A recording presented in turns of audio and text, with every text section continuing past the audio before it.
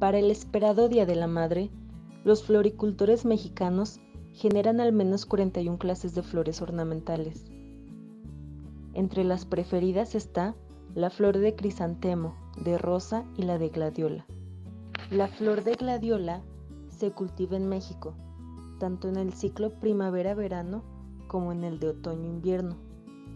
Nuevamente, el Estado de México se posiciona como entidad líder productora. Para este 10 de mayo, te invitamos a comprar flores en los mercados locales y tianguis, y así impulsar a los comercios y productores de pequeña escala, que ponen sus mercancías al alcance de todos.